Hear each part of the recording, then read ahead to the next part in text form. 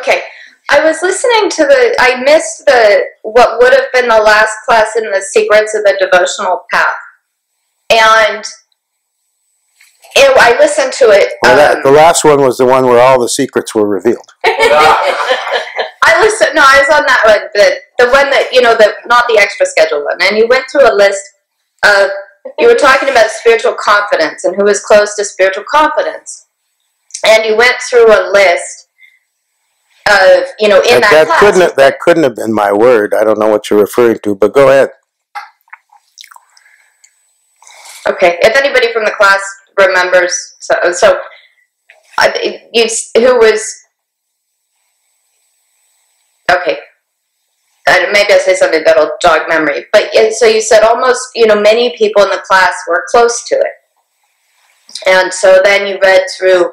You said, "Alana, read me a list of who's, you know, who's in the class, the class roster, and I'll say who's close to it." And you went through everyone's name and you got to when she said my name you said if only those barriers if only some of those barriers were removed close but that's an if only so no and it just it just made me I'm, I I'm known for I'm known for my subtlety. Yeah.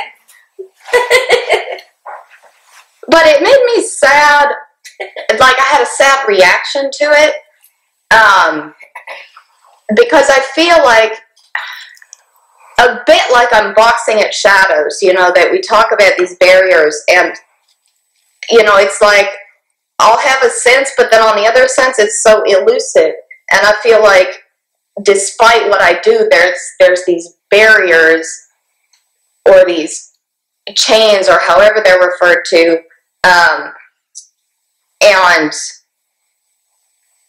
it's so it's like you've said before these things are holding me back but i don't it's like i make these choices like i feel like i make no i don't feel like you know i i know that i have better and better capacity to make better and better choices that that are the choices i would want to make. Yeah and i feel like i've made some traction with that and it's good.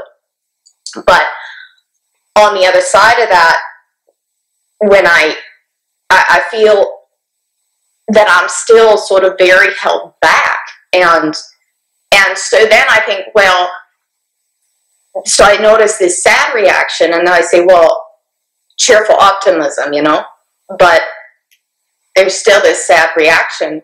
And and i think the thing that i just have noticed frustrates me is it literally it feels at times like i'm boxing at shadows because it feels so elusive to me that i don't.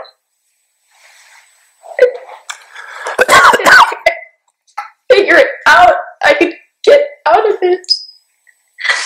Exactly. So you just wonderfully, eloquently described everyone's position and everyone's experience. Every spiritual seeker. If you're living the conventional life and you only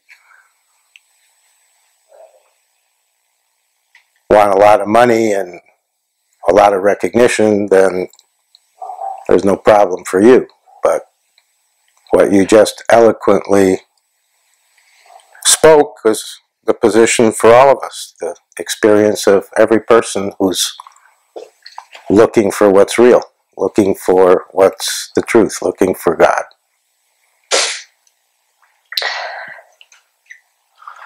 And it's often a sad feeling, and it's often a frustrated feeling, and it's often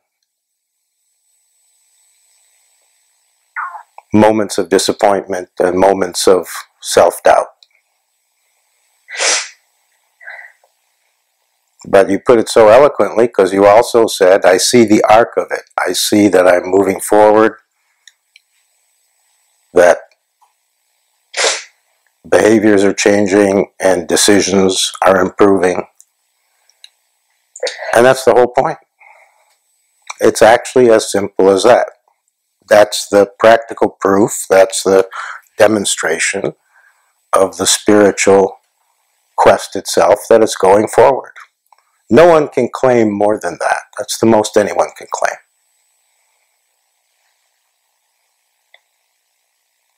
So, just like there's sad moments and frustrating moments, there have to be moments of recognition. Wow, I am moving forward. Wow, what I did, what I said today is totally different than what I would have said or did a year ago. And I know why. It's because I've advanced spiritually. So you're allowed all the moments of sadness, you're allowed all the moments of frustration, but you're not allowed exclusivity. You have to also recognize what's changed, what's happened, and where you're going. But never, never think that you're speaking for yourself. This is everybody's experience. I could ask for a show of hands, and every person would raise their hand.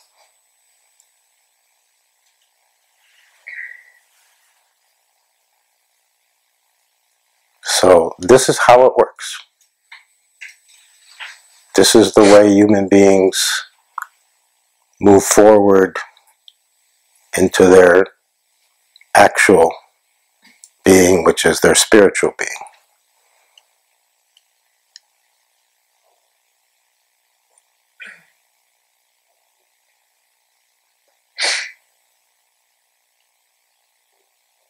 So it's never bad news if the direction is correct. And it's never good news until you're over the hump. And it takes most of us a long time to get over the hump. And maybe I misheard you. I thought you said spiritual competence. But, or did you say confidence? Yeah, that is a word I'd use, so that's probably what I said. And that's what over the hump means. When you're finally confident that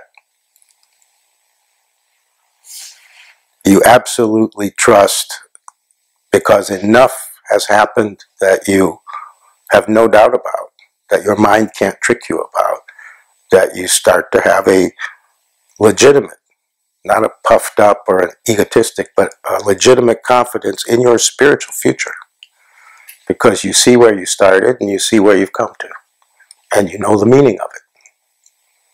And you know that it's real and you know that it's profound, that it's not a small movement, that you didn't go three inches, that you've gone light years.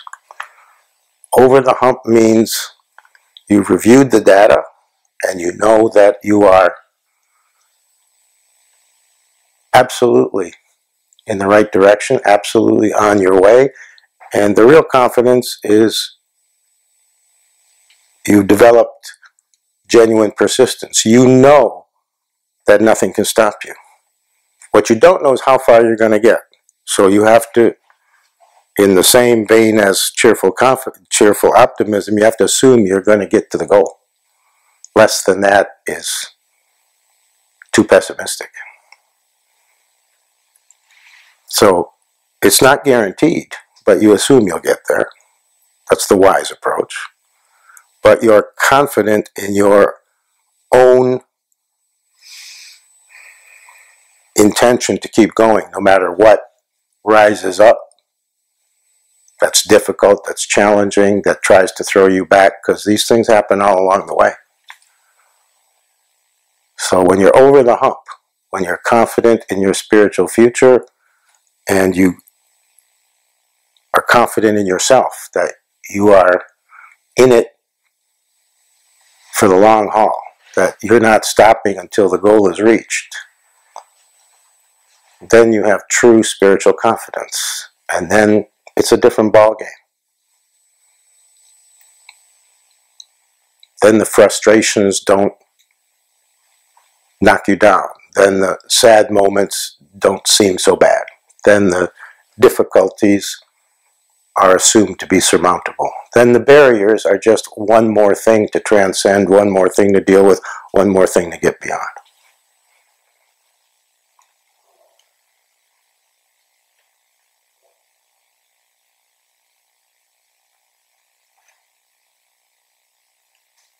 So that was a wonderful encapsulation of the experience of every spiritual seeker who's ever lived or ever will.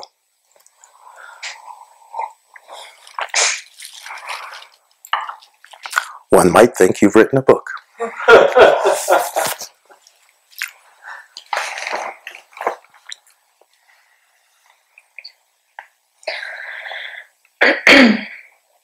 okay? Okay, thanks.